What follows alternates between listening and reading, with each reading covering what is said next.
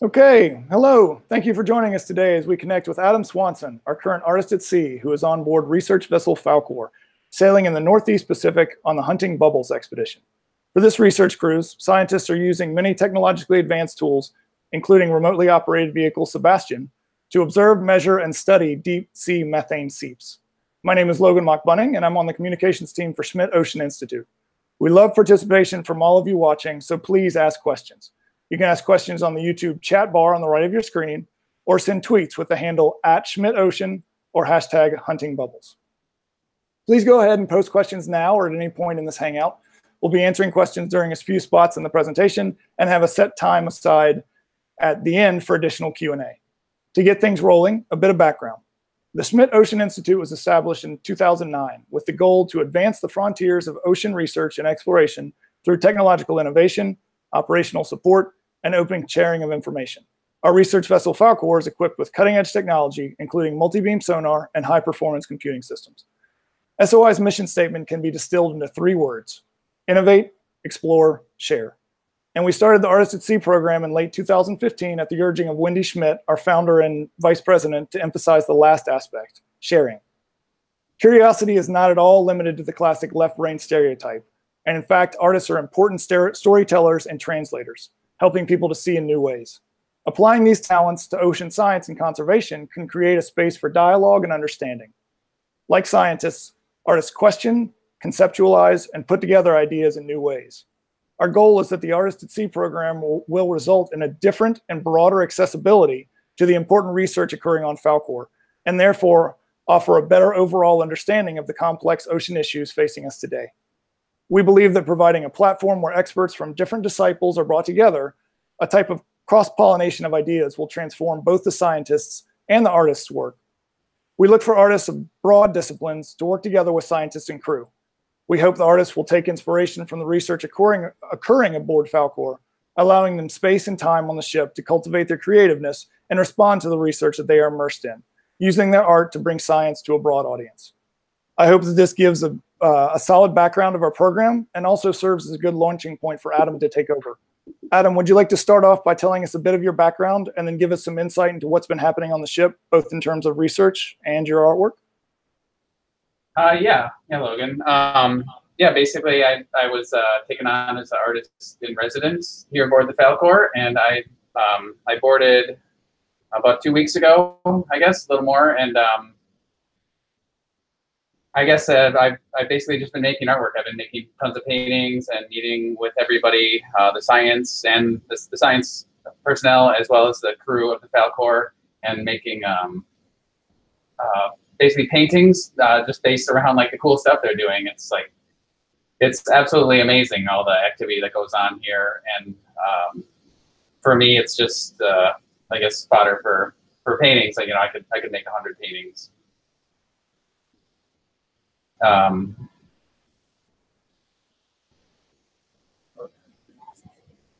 oh yeah, um, I guess uh, I, I got I got onto the ship just by applying. Um, it's like a lot of the, the staff and things. I do have background as a on research vessels. When I worked in Antarctica, I, um, was an MT aboard a research vessel, the Lawrence M. Gould, for a, a couple seasons, I guess, and um, and uh, I worked in Antarctica a bunch uh, closely with the vessel uh, uh, prior to that. I'm not, you know, I. Uh, it's really fun to be on, on the ship now as, as an artist instead of just a, uh, a marine technician. that was it was really cool work being a marine tech, and I was you know able to work closely with the scientists. But as an artist, I can actually make you know my own personal work, which is um, really a dream come true, I guess.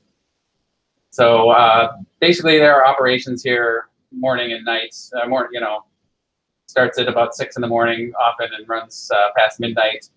Um, I get up at six. We live on the ship. I wake up in the morning and uh, just sort of check check the schedule, see what's going on. There are you know uh, things being deployed all the time, CTD, the ROV, all these uh, happenings, and um, uh, they set me up with a place in the wet lab. So there's this uh, la laboratory basically where uh, ocean mud comes in and uh, bacteria and seawater and life from the ocean floor, uh, all sorts of samples. And there are a group of scientists and researchers there that basically just go through all this stuff. And um, they're running a ton of experiments, which uh, I can get into loosely. I'm no overnight expert, but I have learned quite a lot about uh, methane, the greenhouse gas that they're um, they're hunting for. These bubbles, these seeps that sort of uh, express methane from the ocean floor, and they're happening all the time.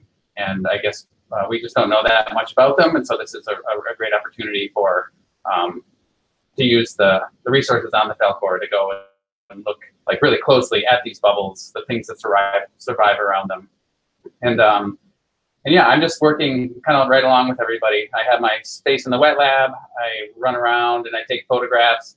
They've been um, they're just like super cool about letting me poke my nose in anywhere, pretty much. Uh, I, I, just sort of have to follow all the safety precautions and everything, but generally, I have been um, really, really welcomed as sort of like a member of the of the crew, and um, and I'm able to, to basically take photographs, use um, the the small amount of panels and canvases that I brought with. I think I brought eight, um, and um, and make I make paintings based kind of off those photographs and my experiences, and and all the while, uh, science and the research and all this stuff is just swirling around me, you know, as I make these paintings. And so it's like it's probably the best uh, the best kind of situation to make.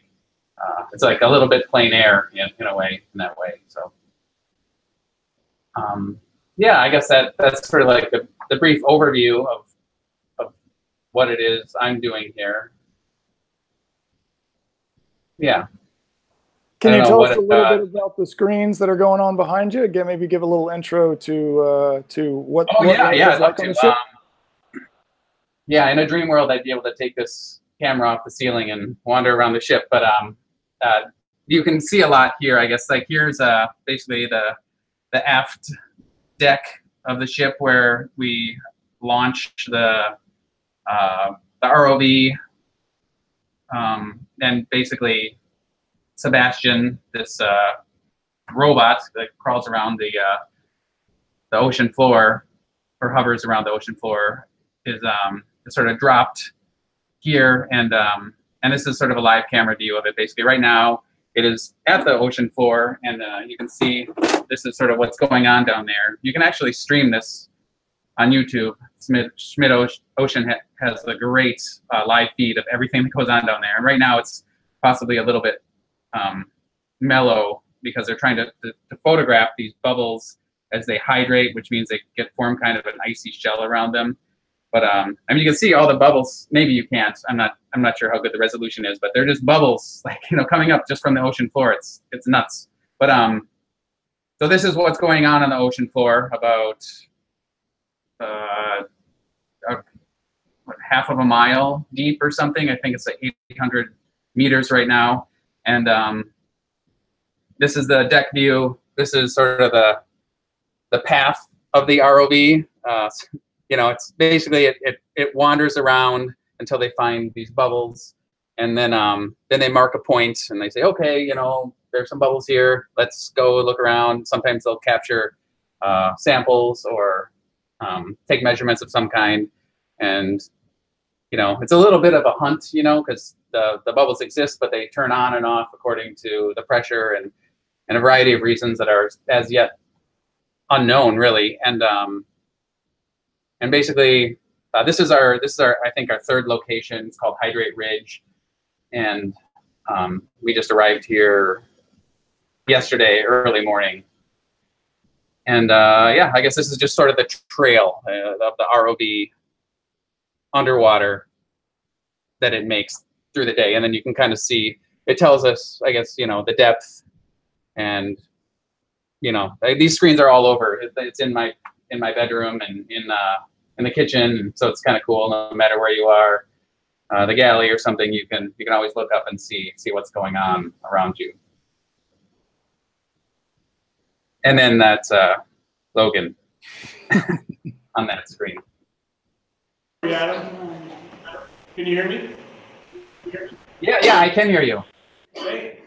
Is that ROV tethered to the ship? And does the ship stay in the same place as that's moving around? Yeah, Yeah, definitely. Is this Tom? Yeah. Oh, yeah, cool. Hey, um, yeah, it is. Uh, it is tethered to the ship. There is a cable with uh, fiber optics and power running through it, and really long. I don't even know how long. Seven. Seven. Um, and so, anyways, it is uh, it is tethered to the ship and uh, remotely controlled in or in this control room that we have aboard the ship with about 30 screens the size of this and a number of pilots and um, and then the science team sort of directing movements and you know oh let's go grab that starfish or let's capture these bubbles. And you know right now they're they're trying to take some uh, high resolution photographs of the bubbles and how they form and how they move in the water. So uh, yeah it's it's a really cool place actually the control room it's just sort of uh, a really dark room with a ton of computer screens, and then the ROV being attached to the ship is controlled with these, I don't know, these sort of little joystick things. It's more like it seems more like playing an instrument than actually managing a joystick, but they're very uh, responsive. So there's like a person sort of moving these armatures around and directing the ROV, you know, where where it sort of goes. It has propellers and it just sort of uh, hovers around. And it is connected though to the ship. So just to go in a little bit more depth with that, we do also use autonomous vehicles. Um, on this cruise, I believe we have a lander, which is something that we sort of send down to the bottom and it sits and waits. I think we're testing it um, for future usage. Um, but uh, as Adam said, the ROV, that stands for remotely operated vehicle. And that means it does indeed have a tether or an umbilical. Um, but there are times that we definitely use different types of robot robotics, especially autonomous vehicles, and those are ones that we put in the water that are not attached to the ship, that are programmed to perform a mission and then come back to the ship and give us data. The advantage of having a remotely operated vehicle is that we're seeing it all in real time. As Adam said, the umbilical has, um, along with taking the power and controls, it also has uh, audio visual capabilities. So um, if our researchers see something that they want to, that they want, they can immediately ask the pilot, um, hey, like Adam said, let's do, go take a sample of that. Whereas if you have an autonomous uh, vehicle, a lot of times it goes out, performs its mission, and then comes back, and we have to react to that data after it's already been processed. And with a, rem a remotely operated vehicle, it's real time. Um, as Adam also said, you can go onto our YouTube page and see these uh, these streams, these expeditions happening in real time. Um, part of again our our goal of sharing is putting all the information out into the world. And so not only can you see what's happening now, but you can look back through our archive and see hours and hours and hours and hours of uh, expeditions footage that we've done in the past. So all of this is available to the public. Um, and some of it is, is really, really interesting and striking. Um, and it kind of depends on what you like. You know, um, personally, I, I, I watch the bubbles for a while and it's really interesting, but it's not something I'm going to watch for hours and hours. Um, however, we do have people that, that watch the chemistry expeditions for all day, and then others who tune in more especially for coral exploration, exploration or or different biological seeking. So it really depends on what you're interested in. Um, one of the nice things about the ROV is it can be customized to perform science for lots of different specialties. Sorry, Adam, I didn't mean to take over, but again, we are a technological based organization. So when somebody's interested, I want to make sure that we give them the information. No, I love it. That's great. Um, yeah, are there any other questions anybody has right now? So how big is the ship you're on? How, how big is the ship? Uh, the ship is 80 meters. Uh, so I, I think it's it's quite big. I think. Okay, there we go. Yeah, and um, I think there are 30 or 40 people can can live aboard. That seems this is sort of a, a rough estimate. I'm not 100% sure on that, but um, yeah, it has uh, basically a number of floors. I just toured the engine room this morning. Um, it's really enormous, and it can go anywhere in the world. Uh, it is uh, a very sleek and sturdy vessel. We've had some some wild seas, but uh, it hasn't been uh, too rocky, I guess.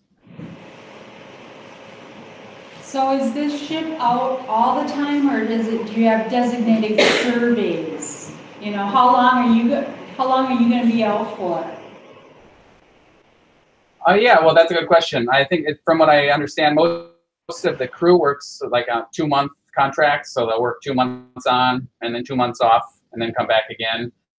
Um, I am just on for three weeks, so I, I boarded in Astoria, Oregon, and we just went out basically into the Pacific Ocean, and I will get dropped off in um, Newport, Oregon, um, and the ship is going to carry on toward uh, San Francisco, and I I think even can south after that, but they will they're going to be uh, docked or in port in San Francisco for a while and have uh, some events and I think kind of like a science on deck, sort of like the uh, Blue Heron in Duluth has uh, at the Exploratorium in San Francisco uh, toward the end of this month. But I, I won't be here for that. I'm just here for three three weeks um, as artist in resident.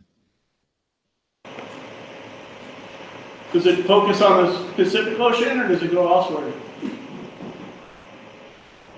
Um, it, it goes elsewhere. Yes, uh, they they um, they go to Hawaii, the Arctic.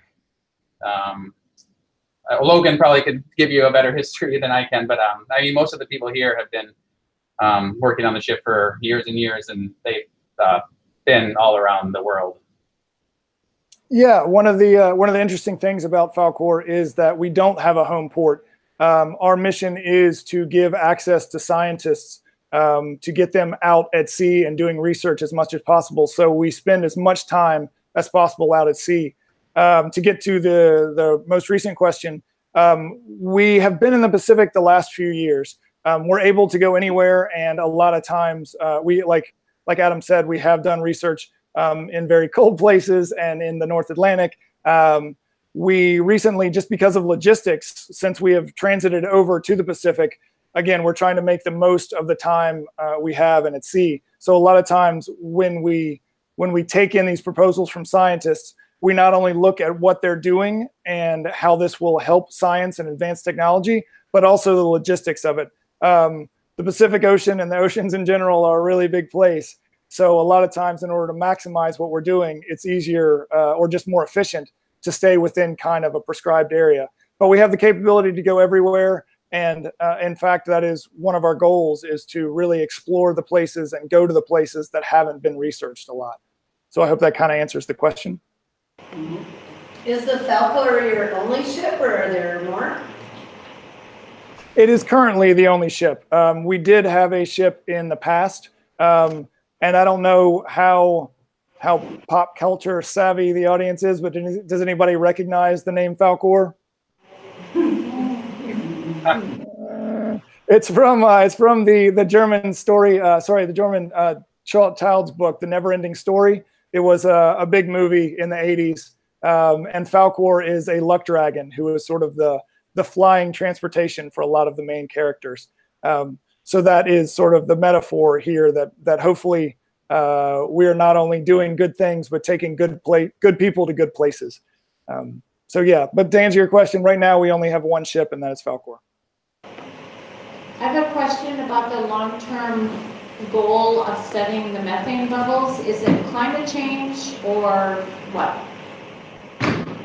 Well, um, I can't 100% answer this, but I, um, I, I would say that uh, the long-term goal is just to know and learn more about them. I think uh, it has, it's like a, an area of science that hasn't really been studied, though it's thought that these plumes have been, uh, you know, spouting for, you know, millions of years, uh, but we just haven't, uh, haven't really known because we didn't have the capability and technology to, to see and measure them and the areas around them.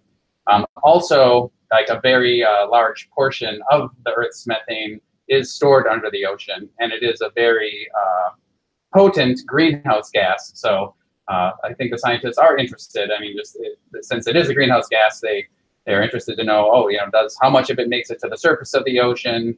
What factors affect, you know, how high the methane rises before it just sort of dissolves and becomes a part of the chemistry of the water, and um, and then also how does it affect the life around it? I mean, there are actually a number of different uh, research projects going on on this vessel right now that have to do with the methane uh, bubbles, and uh, I wouldn't say all of them are are directly related to one another. They all have, uh, have, have some some different angles, but um, you know the the methane acts as food for a lot of uh, these these creatures um, underwater. You, you know, you hear about these uh, animals that live, you know, near deep sea vents, and they get a lot of their their nutrients and things from that. Whereas, like, you know, most of the life on Earth, most of life on Earth gets its energy from from the sun.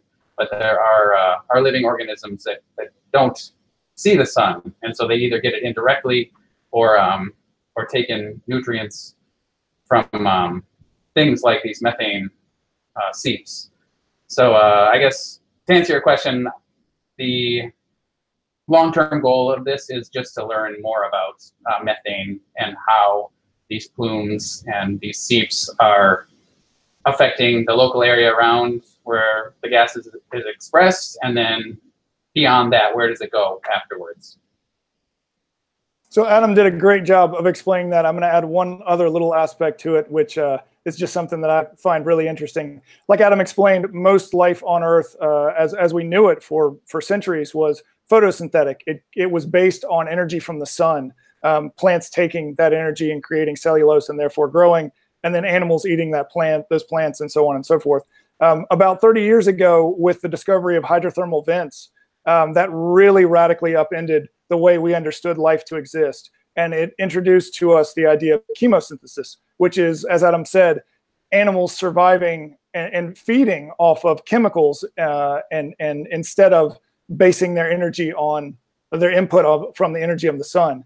And so with this chemosynthetic model, um, as he mentioned, there's a lot of life and, and food web that is based on the chemicals and then smaller um, bacteria or, or other smaller organisms feed off that and have different different um, relationships, whether they be symbiotic or actually feeding upon each other.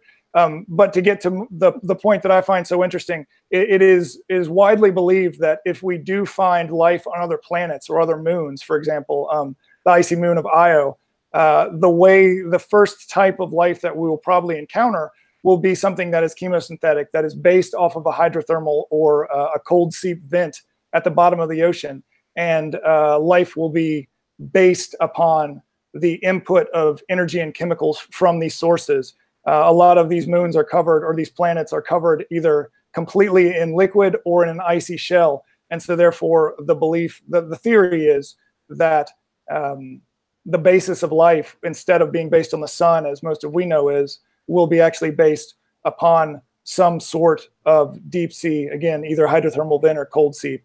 So, studying not just the chemistry that Adam talked about, but also the biology of how different organisms survive, thrive, and and proliferate um, and are, are, related to others is a really uh, really interesting aspect to a lot of different types of scientists. Um, it's it's sort of funny to think that the deep sea is almost a training ground for a lot of the astro exploration, astrobiology, astrochemistry. Um, but it's actually the closest place that we can look at similar environments or what we think will be similar environments. Um, and again, Adam, I apologize. I kind of hijacked that, uh, but it really is a. It, it's one of the best ways I think to uh, to give an example of how deep sea research is not just some people who are curious and looking at something just for the heck of it, but there really is a lot of applicable um, fields and um, and different ways that this information and knowledge will be utilized in the future. Yeah, that's great. I have a question for Adam.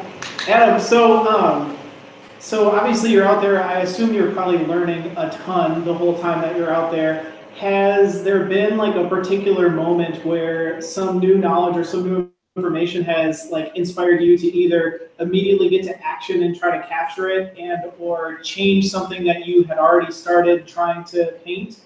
Um, um that's a good question. I um I mean, I guess every day here has been just like, yeah, this whirlwind of uh, inspiring stuff going on. Um, really specifically, I guess uh, I have been sort of called to immediate action with um, with some of the stuff just dealing with the, the ROV because uh, that is unlike anything I've ever even really come close to uh, seeing, you know, in action, kind of behind the scenes in the control room, and then uh, on deck, you know, like when they're where I mean, I'm helping sometimes, like take the samples off and bring them into the lab for processing and and um, and making these decisions. So, um, yeah, I guess uh, initially I, I thought that, you know, when I signed when I accepted this position as an artist, uh, I I thought it was going to be a little bit more about the greenhouse gas aspect of methane, but um, I'm learning more about yeah this uh, the way life is, is formed and sort of the important uh, stuff uh, surrounding the, these questions. Yeah, like these, these animals and creatures, uh, this life that, that exists at the bottom at the bottom of the sea on on chemicals. You know, not not just the sun. So. Um, yeah, I guess uh, you know I, I, I've sort of been drawn to painting the, the ROV uh, vehicle a little bit more than than I would have thought, just because I, I feel like this is it. You know, like I'm not sure I'm going to be shaking hands with uh, a giant robot like that anytime real soon. So um, it's just very inspiring to see like the amount of uh, of work that goes into it. And then I guess the other thing is just occurring to me is uh, I made a lot of my paintings about sort of the impro- improvisation that goes on here. I mean, obviously, these projects are very well thought out, years in the making, and the technology has been tr- tested and tried and true. But there are just these little things that go wrong, and, and we're all stuck on a ship, and there's no uh, hardware store down the lane. So you know, you'll find, uh, you know, there's like there are people just welding things together and bungee cord, and there's a milk crate on the ROV where you know when things don't fit in this bio box, you know, they just stuff it and bun- bungee cord it, you know, into this milk crate, and uh, I just love that so much. Yeah, it's sort of just people are solving problems as they go, and you think of it as this. Uh,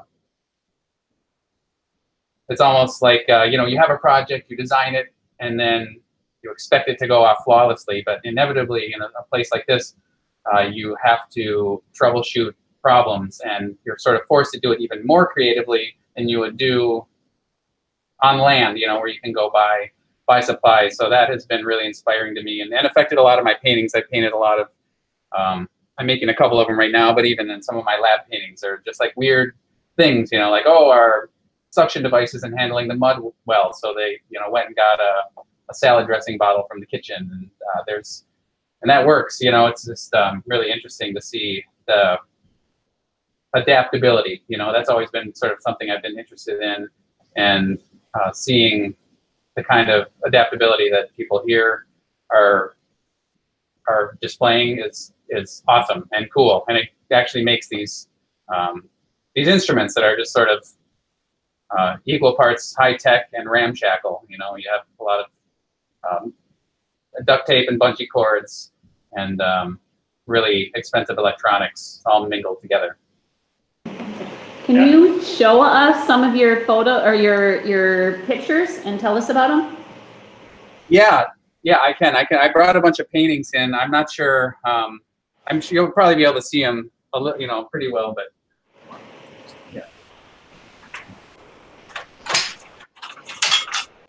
So this is the biggest one I did. It's uh, it's kind of of the the ROV. It's sort of like uh, when I was in Astoria. We were on the ship for two days, kind of doing safety and introductions and things. And um, I had time to run to a hardware store and sort of get some more uh, larger panels. Then that would fit in my. Um, um, that would then would fit in my my luggage. So um, this is one. I'm not sure. Can you see it at all? That's great. Okay, here's one. And then I made about six paintings so far. Um, you know, if you want to see electronic images, you can kind of see them. You know, I've been posting them on Facebook and my web, not my website, but Facebook at least. Just rough photos that I've taken on the deck with my phone. Um, my good friend Kevin here is going to hold them up for everybody to see.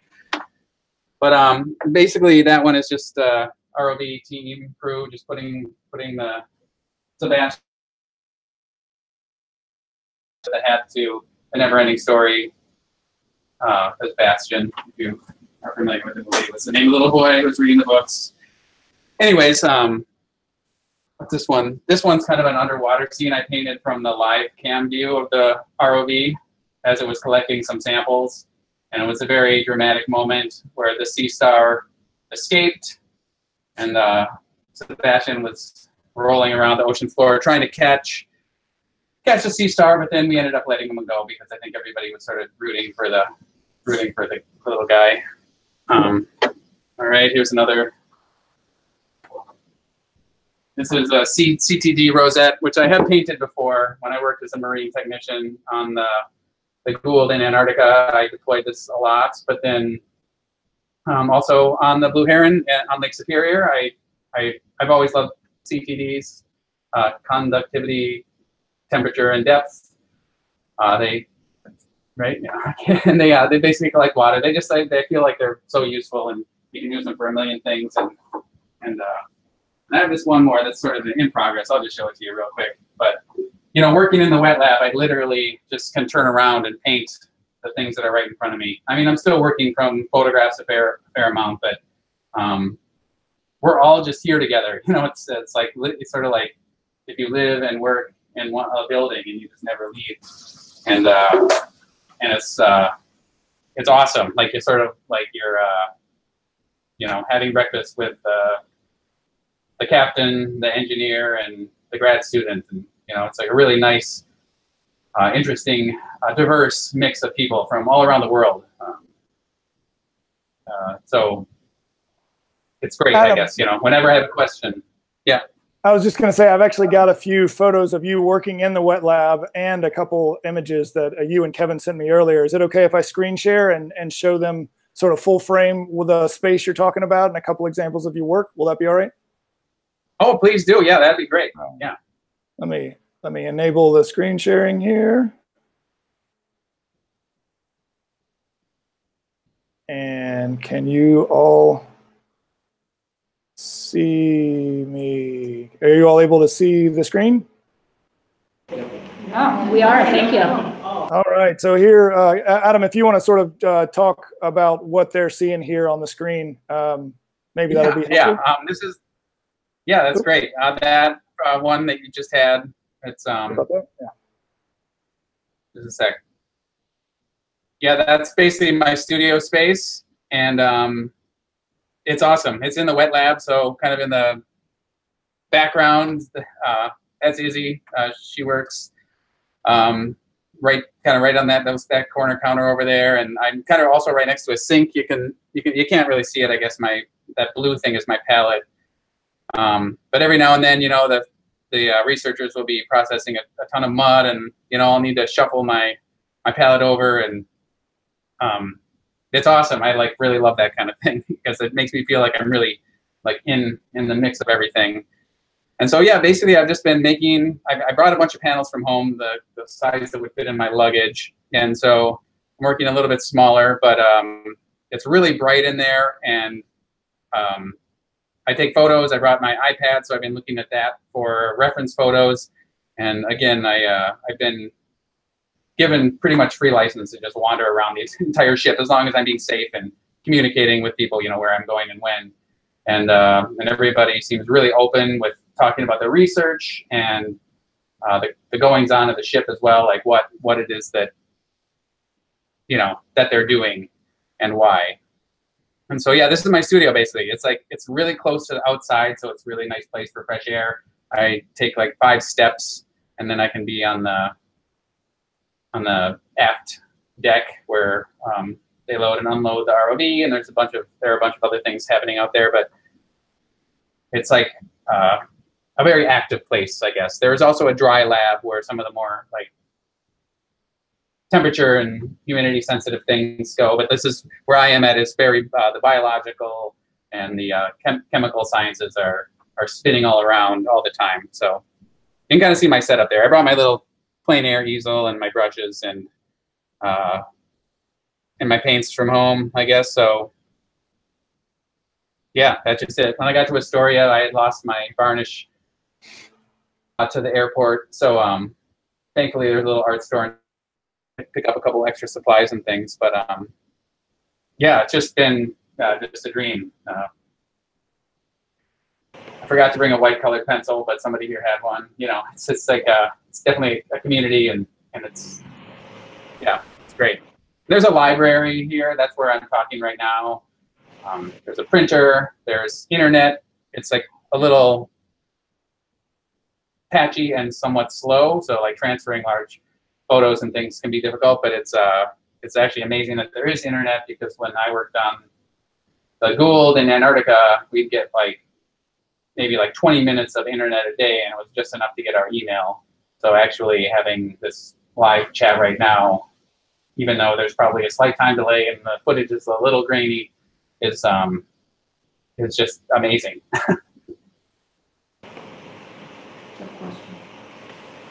So you talked about the uh, crew and the other staff at your location. Have you had to do that with any of your paintings? Sorry, can you repeat the question?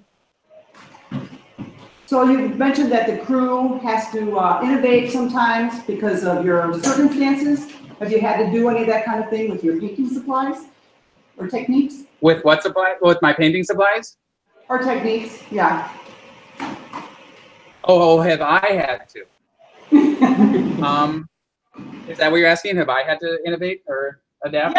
Yeah, yeah, yeah. Yeah, gotcha. Um, At your home studio. yeah. Um, definitely. I mean, working here is totally different than working at my home studio. I mean, the space alone is, is really different. You know, when I, um, I don't have back frames for some of my painting just because I, I didn't, I couldn't fit them in my luggage. It was overweight, but, uh, um, so, you know, just like thinking about, oh, how am I going to display these? How am I going to hang them? Space on the ship. I mean, it looks pretty wide open in here, but there's, um, you know, there's not just a lot of space to like lean things against the wall. You know, you can't hammer a nail in the wall to, to hang your paintings. Um, thankfully, I really thought through my supplies quite a lot, but um, so I didn't, you know, I remembered all my brushes and paints and everything. I did forget the white colored pencil, but um, thankfully somebody had that.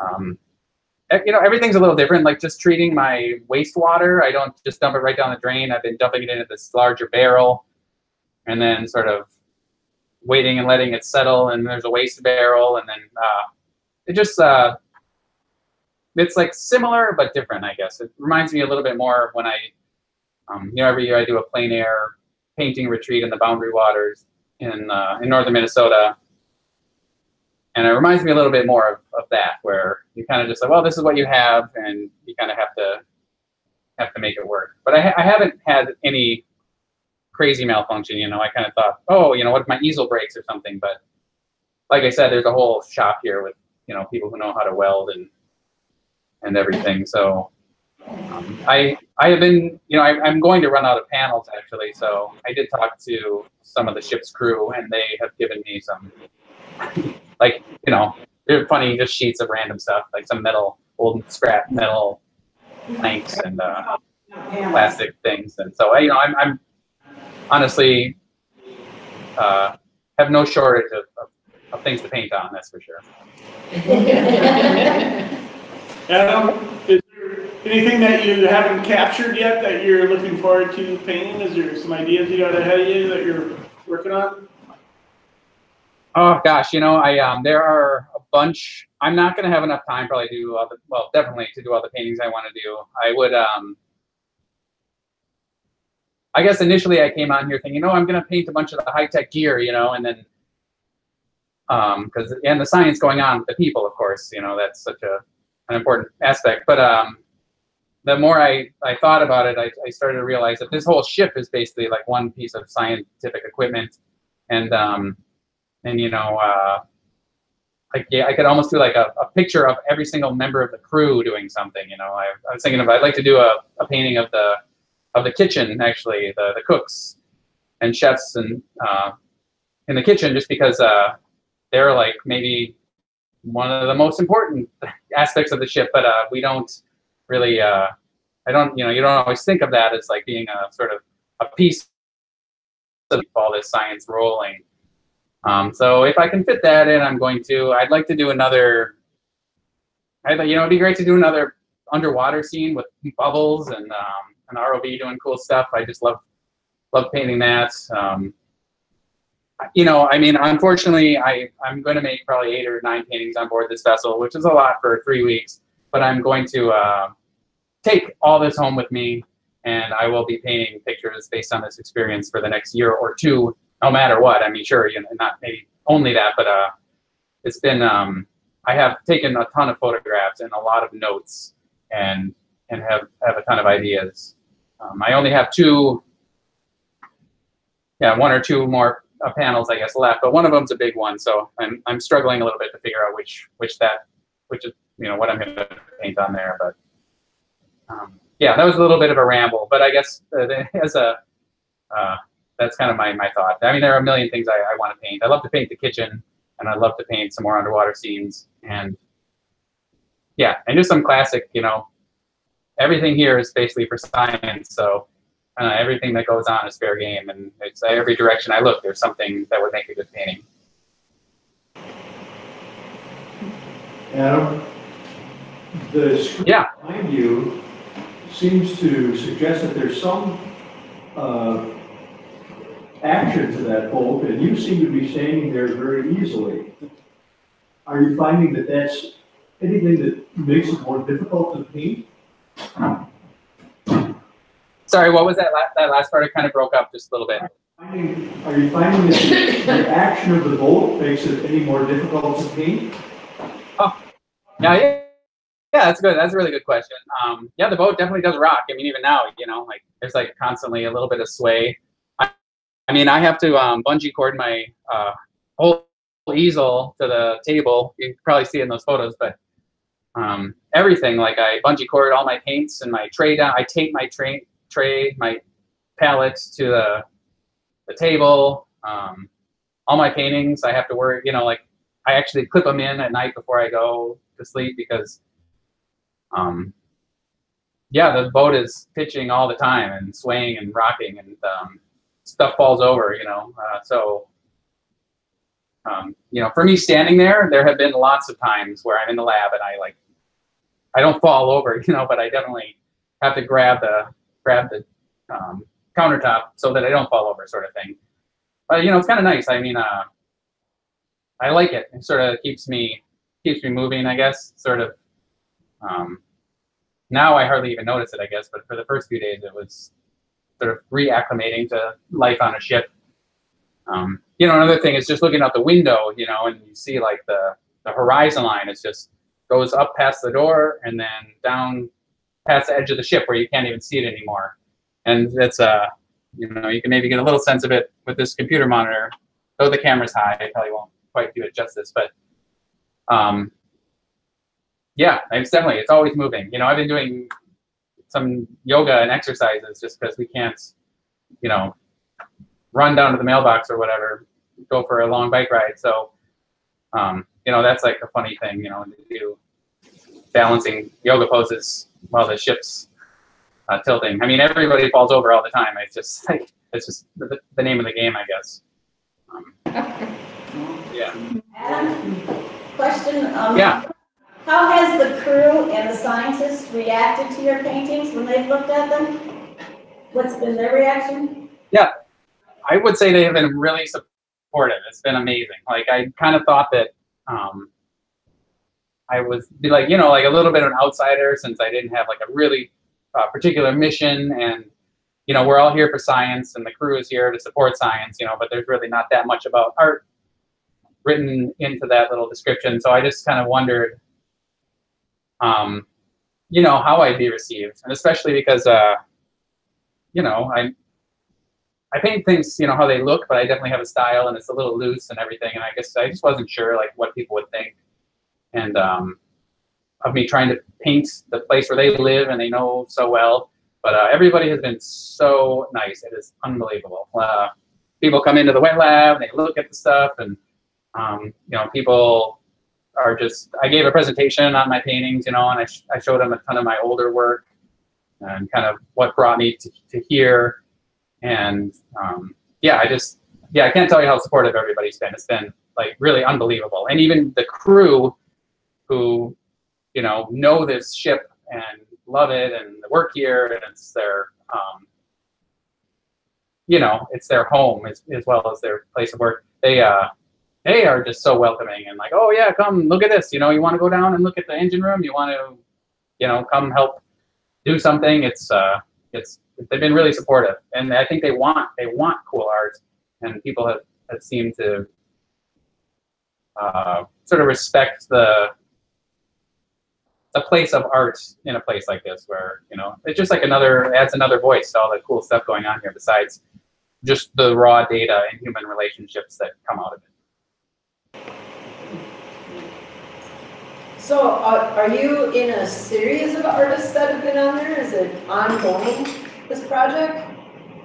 yeah it is um, there are artists here a lot um, usually it's just one at a time um, but um, i think it, there has been more than one at, at, for shorter cruises sounds like but um, yeah basically this is um, something that people apply to and um, other you know you're interested. You, you should apply. It is a it's an amazing experience and uh, and everything is uh, they you know they go out of their way to try to help help people. And they don't just have painters you know they have musical artists and uh, you know there's a bunch of stuff that's been knit and crocheted around here uh, photographs uh, printmakers drawers.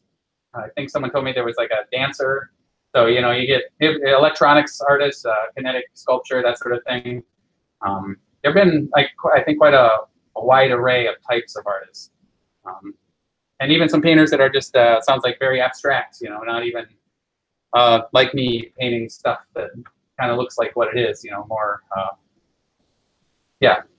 There have been writers, po- poet, poets on board. Yeah, so it's open to artists. They actually encourage, which is not extremely common, I think, for for a research vessel, but um, it's a great opportunity.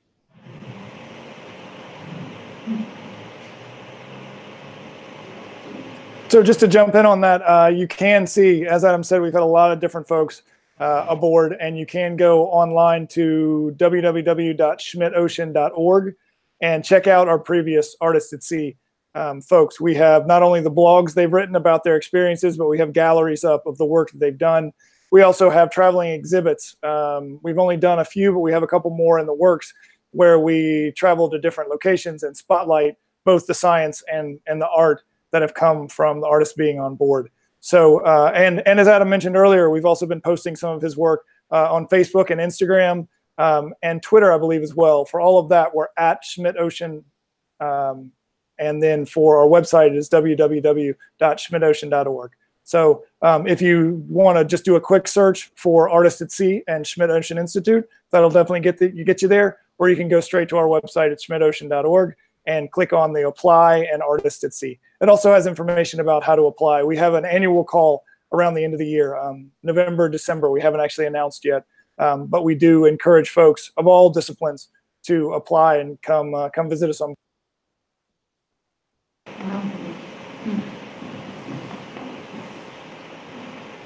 Yeah, all right. Does anybody have any any more questions? I have a question, Adam. Um, as you're Yeah. traveling now out there in the water, and this isn't the first large body of water that you've been on, this is, you know, you've been on a lot of water, really. Has your idea of color changed at all as to, um, acuity or vividness or context or anything like that as you're, as you're, um, experiencing this now massive body of water that you're on and, um, work environment and in this environment that seems to be uh, globally inclusive of helping um, by um, giving out information as to the environment. So I'm just wondering, that's probably a big question, but I was wondering, has your Yeah, that's fine. No, I, I get it. Um, yeah, my I, my I've been loving you know playing with the colors here. I mean, I guess I really have blown through my white and blue and phthalo green. You know, it's like uh, since it's since most of the subject matter here is are things that I'm not actually that familiar with. I mean, I know what a horizon of water looks like in the sky pretty well, but almost everything I've painted has been like you know, a little bit out of my my wheelhouse. Um, not you know, not counting that recent uh, work group of science paintings that I, I did that is hanging in Duluth Pottery right now.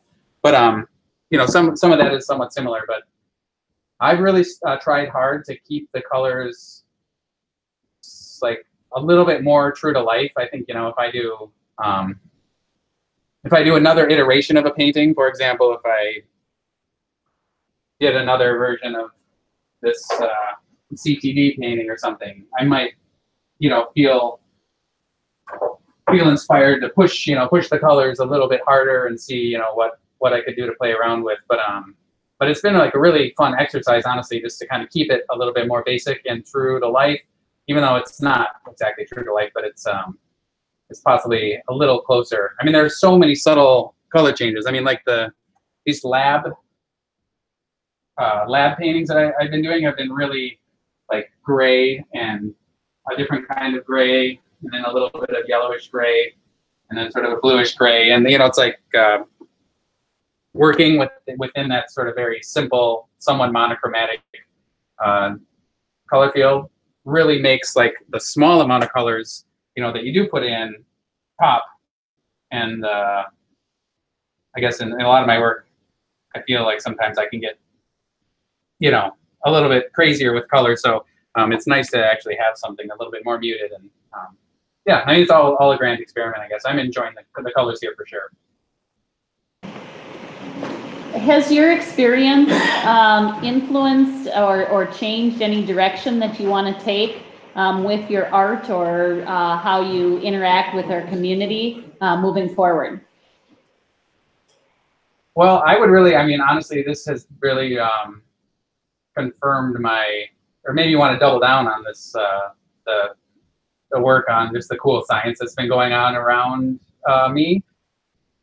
It, it had always kind of been just sort of a, a side project, you know, in between my commission work and um, some gallery sales and things. But um, I'm just going to really keep pressing this. I mean, even uh, the work that's in Duluth Pottery right now, I, I feel like I barely scratched the surface of all those places that I visited. And, um, and being here uh, makes me realize like how much energy and um, insight and uh, I guess just cool research and science that uh, it affects our lives, you know, in great, uh, profound ways. It goes goes on all the time around us, and um, you know, as an artist, uh, the artist side of me is um, really interested in in painting about the things I'm interested in, and so this has made me sort of want to just really dive deeper, especially when I get home to like do another series of paintings that, that have to do with the, the cool science going on, especially with, you know, I, am interested in water quality and, uh, and, you know, climate change and just sort of, uh, yeah, all, all, all, sorts of stuff, I guess. But, uh, but the stuff is happening and um, it's nice to add an artist's voice to, to the data and, and the numbers and things that are already out there. Science question, maybe for Lucas. I- Yeah. Uh, I checked out the video earlier about the Chasing Bubbles mission or cruise, and they mentioned your, the ship is working on the Astoria Trench, eight hundred meters deep, and I don't know, hundred, a couple hundred kilometers up from the coast. Yet there's a signal from the Columbia River that, that affects the methane. I don't know if Lucas knows anything about that. I was real curious to hear that there's a signal from shore that, that the ship, those scientists are seeing that far out and that deep. Um, from what I understand, there uh, is some issues with uh, metallic, I don't want to say contamination, um, but traces of metals that do come from the flow of, of the river. Um, I'm not sure if that's what you're referring to. Um, I don't think so much uh, of the readings that they've gotten from, from re- river input has been straight methane. Um, but there have been other aspects that again affect the life around the seeps. Um, a lot of life needs um, iron and other metals to actually metabolize and and create energy via different chemical reactions. Um, and so one of the very very limiting factors of life around oceans is the even though they're tiny tiny concentrations, um, uh, bits of of metallic compounds that can allow um, bacteria and other life to actually process different chemicals. Um, and that was something that they were were very interested in, and uh, and is in our last video review. Um, every week we put out different weekly updates as well as a, a wrap up video of the entire cruise. And part of the, the, the aspects that were discussed in the last um, video dealt with some of the, the metals and river runoff and how that affects life being able to, to again, thrive in these areas that are very, very extreme, very, very cold, um, very little to no sunlight, um, and under a tremendous amount of pressure. Um, so there are, again, lots and lots of different aspects that come into making um, life possible in, in these areas. Methane on the bottom, liquid or solid? So one of the, the aspects that they're looking at is there are different forms of methane. And so these seeps uh, are coming from what's called a methane hydrate. And that is when in certain conditions, um, notably under a lot of pressure and very cold environments, methane can form something very similar to an ice. It's a crystalline structure, kind of a lattice, where it actually, the gas becomes a solid.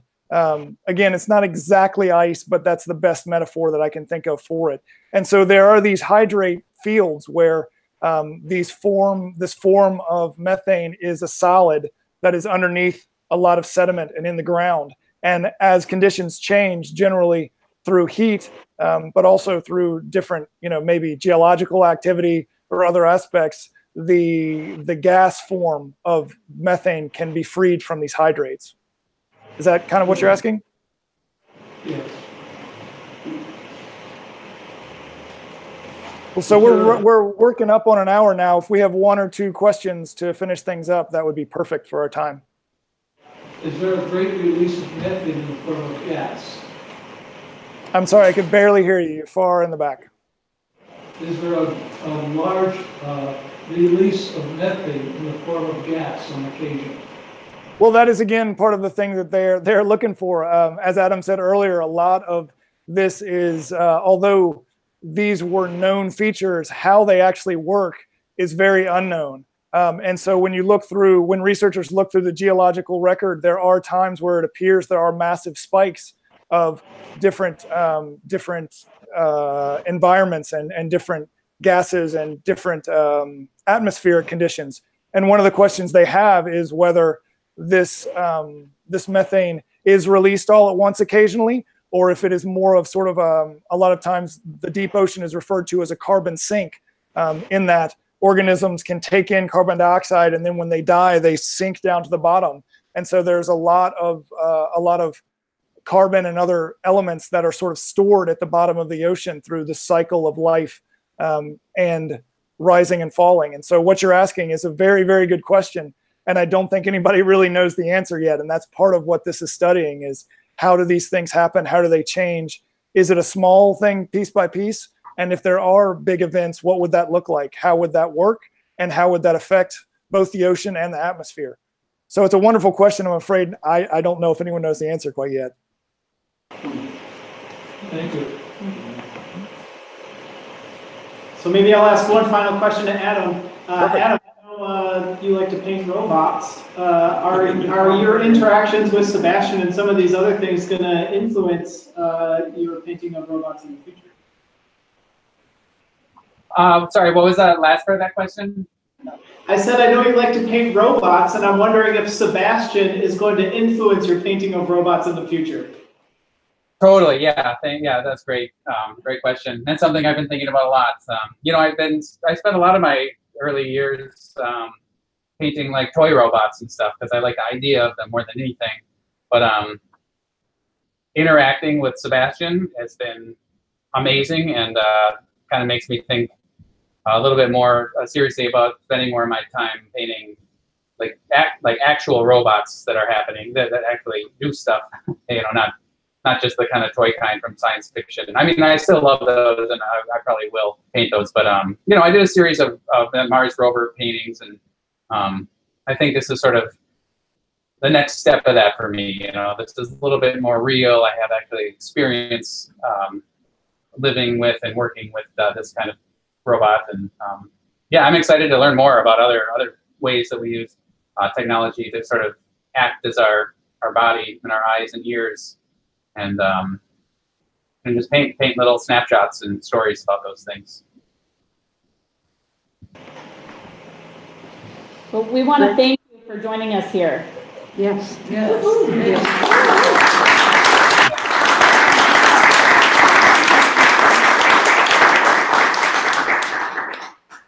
Yeah, well, thank you everybody for coming out. I know it's like uh, um, probably a nice September day in Duluth, and it's uh, really cool that you all came came out for this. It means means a lot to me, and uh, I'm really excited uh, to get to get back home, I guess, and and just carry on and, and paint. And uh, likewise to everybody who's watching online, uh, thanks for thanks for tuning in. It's really uh, fun for me to share my experience with everybody.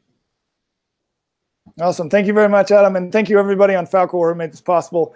Uh, I think Kevin is behind the scenes, our multimedia correspondent who puts out the videos and some of the blogs that we talked about earlier. He's helping run the show over there. We also have a lot of folks that make, as Adam talked about, we have uh, uh, the internet possible through satellite transmission. So we have a lot of ETOs and electricians and technological officers who make that happen. So thank you, everybody on Falkor thank you everybody on the mainland for um, for showing up and and participating asking questions. If you do have further questions again we're online at www.schmidtocean.org you can contact us there send us questions um, keep track of what's going on via the blogs. Adam's been writing blogs as well so it's not just the scientists that are telling what's going on. Adam's also given us his perspective as well as the videos that kevin's making. Um, and then again we also have sort of smaller updates via facebook and Twitter and Instagram. And all of those, our handle is at Schmidt Ocean. So thank you very much to everyone, and we hope to see you online. Take care.